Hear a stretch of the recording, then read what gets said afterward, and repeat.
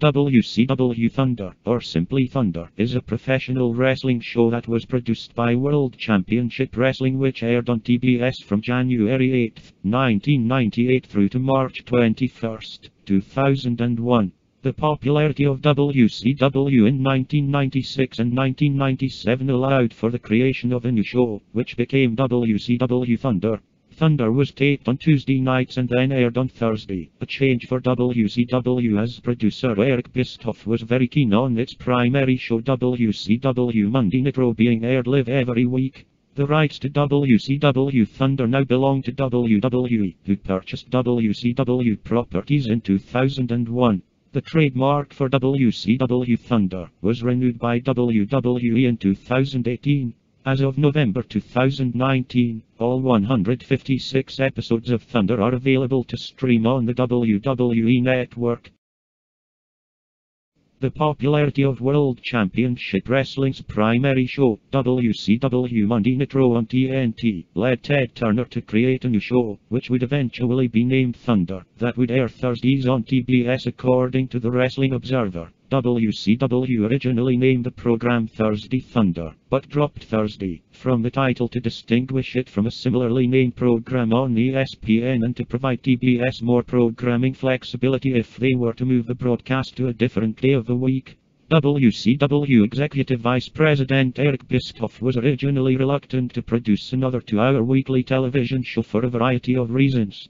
First, Time Warner, WCW's parent company was under hiring freeze which prevented Bischoff from bringing in additional production people to run the show. Second, he felt WCW did not have enough talent to produce another show and risked overexposing them and making storylines less significant. Third, according to Bischoff, TBS refused to pay the cost of producing Thunder which was between $12 million and $15 million per year.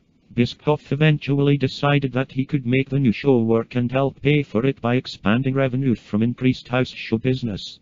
Bischoff was also given permission to sign Bret Hart, specifically as a high-profile talent to perform on Thunder. WCW Thunder originally debuted as a live weekly show, but the schedule was changed by Bischoff in August 1998 due to complaints by wrestlers over travel demands. Tapings were expanded to four hours, with the first two hours being broadcast live and the last two hours taped to air the following week.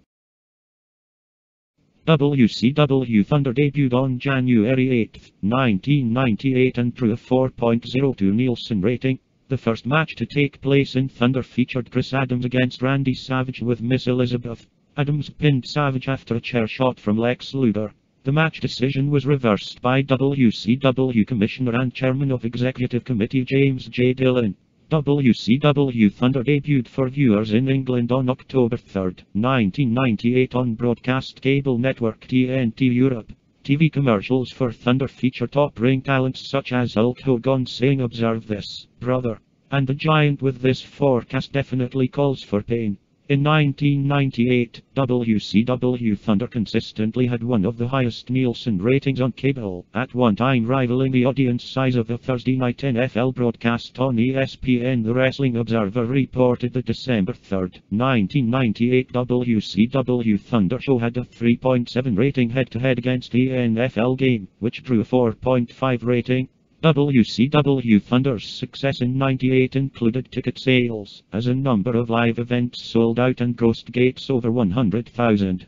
The WCW Thunder at the Fargo Dome in Fargo, North Dakota on April 16, 1998 drew 16,000 people and grossed a quarter of a million dollars in ticket sales, which were both record highs for that market.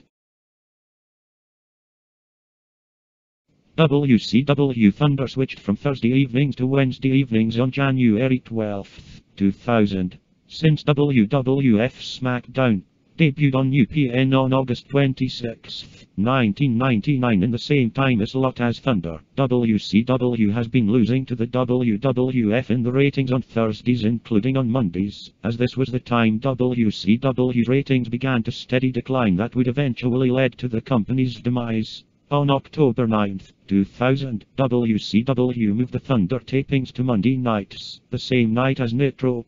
After the live Nitro broadcast ended, the Thunder taping would commence. This practice continued until March 19, 2001, when Thunder taped its last episode. Bryan Alvarez and R.D. Reynolds wrote in their book, The Death of WCW, the reasoning behind the tapings was attendance at Thunder events had dropped considerably over the previous 21 months. Towards the end of the show's run, WCW Thunder was the anchor of a TBS programming block known as iWatch Wednesdays, which was tied to the website TBS Interactive. After installing a web browser plugin, users had access to forums, games and contests related to the TBS programs, including Thunder. In an attempt to save WCW, Bischoff attempted to purchase a company with Fusient Media Ventures. However, although Bischoff's offer had been accepted, recently appointed Turner Broadcasting executive Jamie Kellner announced shortly after his arrival that Thunder and all WCW programming was immediately cancelled on TBS. Bischoff's group then withdrew their offer, as it was contingent on keeping WCW programming on some outlet. WCW's trademarks and certain assets such as its video library and the contracts of 24 wrestlers, though not the company itself which still exists as a Time Warner-owned legal entity under the name Universal Wrestling Corporation, were bought by the WWF, its longtime competitor.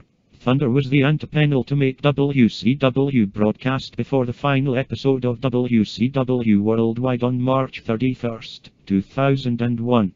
WCW Thunder is the final wrestling broadcast to air on TBS until the debut of AEW Dynamite which will premiere on January 5, 2022.